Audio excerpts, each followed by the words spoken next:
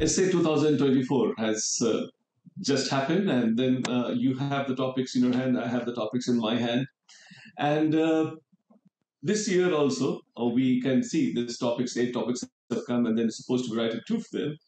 Uh, I would like you to give you a uh, detailed analysis of this. I'm going to give you a three-part video. In first part, I would like to give you a broad observation that what this topics uh, as a paper expect. And then in the second part of the video, I'll give you uh, the, the basic contour of those uh, part A of the topics that you have got.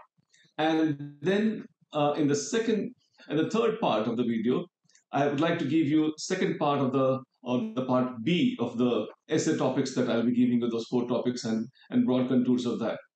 Well, of course, I mean, uh, uh, the general observation that a lot of people have been calling me and then talking about these topics. And then uh, if you go for the uh, the first reading of these topics, I would find that uh, these are not something which is like uh, extremely abstract topics as has been the cases in the past. The topics are something which you can always relate to. And then uh, it is a mix of uh, some topics which are not so easy and some topics are fairly easy. So on an average, I would say that it's an easier paper, relatively speaking, compared to the topics in some years where a lot of abstract topics were there, and then a lot of people found it difficult to relate to them unless they were having some philosophical or philosophy background or, or something of that nature. And then um, the the scoring, I would imagine, this this kind of papers, I would imagine that one can really score well. Uh, average to a very high average is where I would see that the average of this year's paper score is likely to be. It's not something where you can possibly be exposed for the angularity and then uh, there is a chance of some score that is getting in a skewed direction. It's not going to happen like that. Uh, mostly people would have, uh, uh those who have prepared well, above average score in this. And then a lot of people can possibly go for higher scores. If I basically talk about uh, the topics here, I, I would imagine these are the eight topics just uh, for my own mental uh, connect. I would like to read these topics once again. The first four papers are Forest precedes civilizations and deserts follow them. I suppose one has to be very careful about this civilizations and deserts words which are appearing. Of course, I'll go into details and analyze these topics and then give you contours when I go for the second part.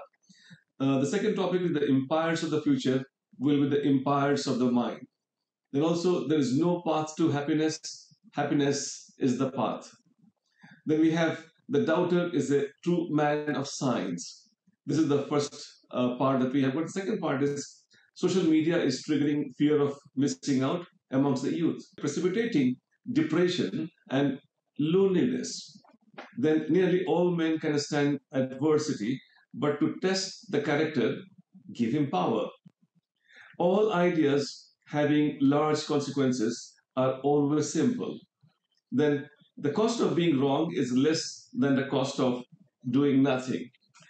Well, I think if you look into the uh, basic makeup of these uh, topics, I would assume that they are contemporary, uh, if not current, contemporary and philosophical, a, a, judicious mix of them that we have got. In fact, uh, I would imagine that thematically speaking, UPSC has stayed within its band of the theme that it has got. Of course, the topics are appearing within that band here and there and like that. But then within that band, they have uh, been existing. And uh, topics are, of course, always new. I, I would also find that uh, there are a lot of uh, uh, cross sectional topics have been uh, taken where if you have studied things, I would say interdisciplinary manner, then, then you will be uh, much more in control. In fact, I would say the preparation of general studies seem to be uh, very handy in the kind of uh, uh topics that we have for this year. Like I can see uh, some connect of history, some connect of uh, psychology, some connect of philosophy, sociology, political science, ecology and environment. A lot of general studies facets that you have got, which definitely connect with the kind of topic that you have in front of you. In fact, uh, uh, the topics are, uh, uh I mean, uh, I would say, a lot of interconnectedness as I, I was uh, reading these topics uh, time and again, I found that lots of interconnectedness is required, like governance, society, community, individual, environment. A lot of uh, interconnectedness I can see that exists in the paper. And that is what I'm going to really mention to you. Uh, just to take a few examples, like man and nature. Uh, man and nature or women and nature. I mean, this is a very debatable thing. Uh, human and nature. Human also has got a man content in that. Anyway, uh, person has got a sun content content in that. God knows how one would go about it. But let's see. Uh, man and nature. Topic one: forest precedes civilization, and deserts follow them.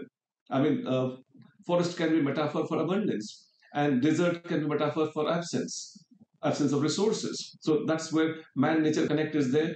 Then individual society connect is there. So I was talking about that a lot of interconnectedness in the topics are there, like individual and society. I, I would like you to read this uh, topic. Uh, social media is uh, triggering fear of missing out amongst the youth, precipitating uh, depression and loneliness. Then also the sixth topic, nearly all man can stand adversity, but the test of character gives him, gives him power. So this is again, again, I would say that individual and society connect is there. Additionally, one can also see that uh, knowledge and power interconnectedness is there. I suppose you can see the empires of the future will be the empires of the mind. The seventh topic, you can see all ideas having large consequences are always simple. So we find that interconnectedness of the two themes, which is where one really find a lot of topics are coming. And let me tell you one thing. This is not something new. It's not something which has happened now. It has happened in the past also. And then one has to really understand. Uh, ethical dilemma, I mean, that's UPSC is always favorite area that always continues. And uh, like the cost of being wrong is less than the cost of doing nothing. So that's ethical dilemma type of uh, components are also there. And I also feel that uh, the students who are uh, good at uh, uh, theoretical and I would say uh, on, on, on, on practical connect, the real world context, if somebody can really connect this theoretical and the pragmatic aspects and have informed views sound analysis, I suppose one can really, really write good essay. In fact, uh, if you ask me, I would assume there are uh, four uh, uh different kind of uh, expectation where this theoretical and real world connect is, is, is, is, is possible here. One I would imagine is uh, discursive. When I say discursive, that is you'd expect it to give reason of the stand or the discussion that you're making. So, discursive uh, assessment or discursive expression is required where you supposed to be has, having logics for talking about whatever you are writing here. Lots of topics, this discursive nature of expression is required. Then also, synoptic. What I mean by synoptic is that synthesis of information of different sources is, is very much expected here. Like you, as we're talking about some aspects of political science, some aspects of psychology, some aspects of history is, is very much. So you have to be not discursive, also synoptic in your expression. Like different disciplines can be brought in together. In fact, these topics are such where opening the dimensions is, is, is, very, very effective. Also, uh, I mean, this is another, apart from discursive, synoptic, evidentiary, which is where you are able to connect the, the current day crisis with the theoretical base, with examples, with the real world. And I think uh, the issues that we have got, the issues of uh, struggle of power, and then we have got Israel and, and Ukraine and Russia, so many places it's happening. So you have to really connect with the real world evidences. Similarly, we have got uh, lots of debate on social media, FOMO and whatnot, where you can actually pick up the actual examples and have them connected. And also, one more aspect I, I expect these topics are expecting is decryption of the complex issues. And decryption of the complex issues, uh, especially when they have abstract ideas. When I say uh, abstract ideas, like uh, you have uh, idea of happiness, idea of power, idea of character. I mean, these are like some of the ideas where they're trying you to see how well you are able to describe the things which are in front of you. And that is really very important. And I expect you to be having clear views and ideas about that. Apart from that, in these topics that we have in front of us in, in, in UPSC that has asked, the global concerns are raised. And those global concerns, which is where India is really having a, a decent interface, is what I expect that UPSC is interested. That are you able to connect yourself with the contemporary issues or not?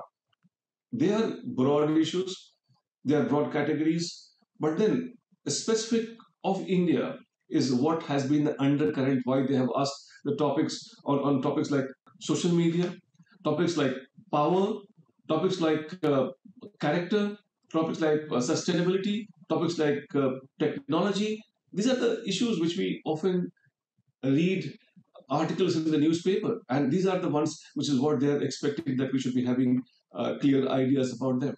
And then I somehow had a feeling that uh, there's a lot of uh, uh, history. History has a big heart. It accommodates everything. It accommodates technology. It accommodates environment. It accommodates civilization. It accommodates culture.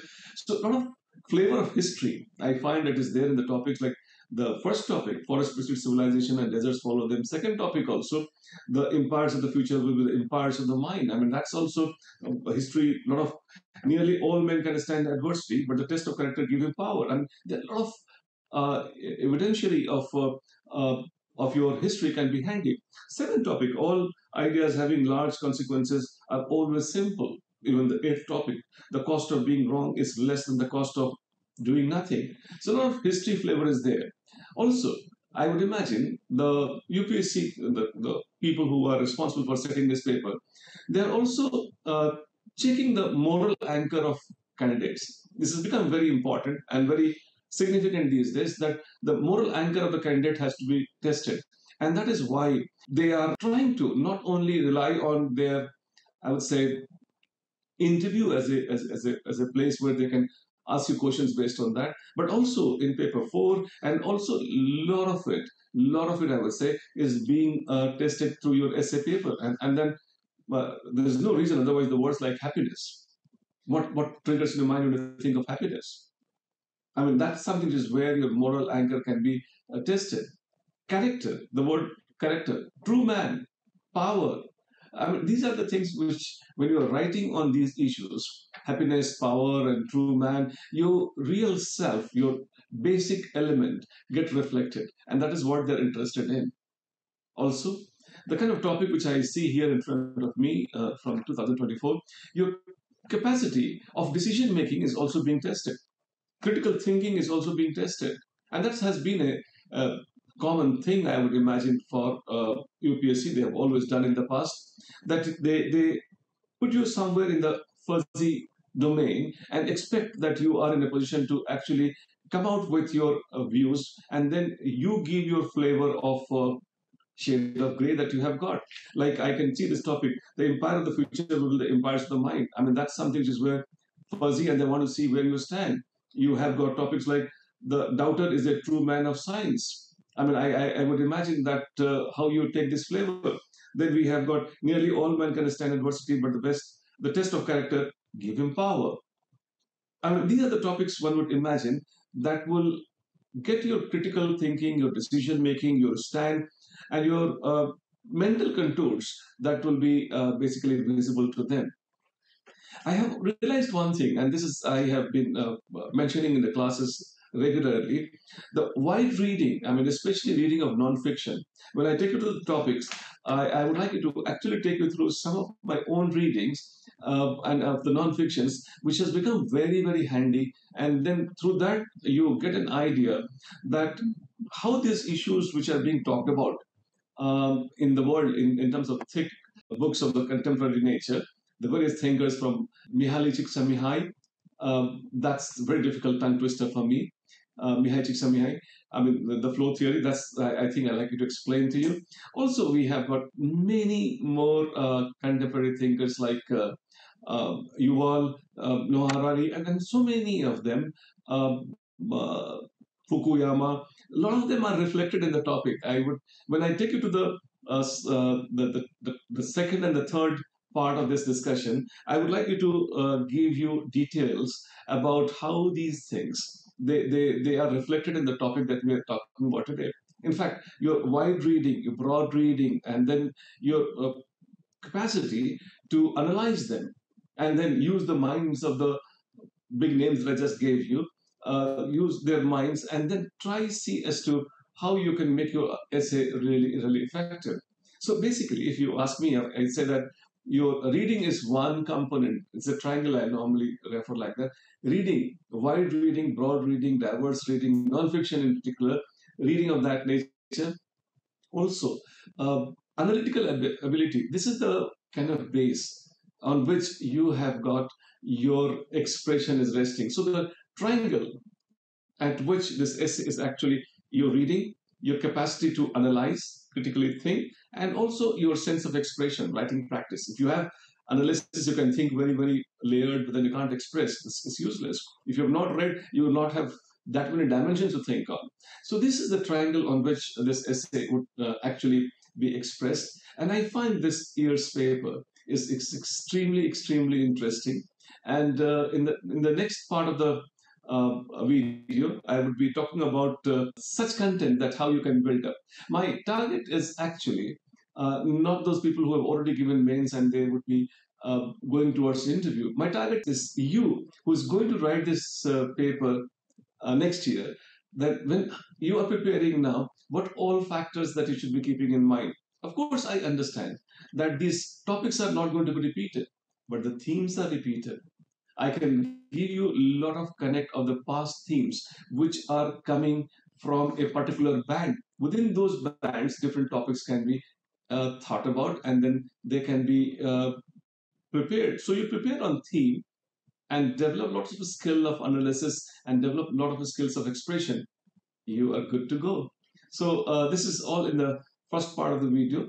I, I will be coming up with the second part and then I'll explain further about uh, those uh, uh, two sections of the essay topics that we have got for this year. Thank you.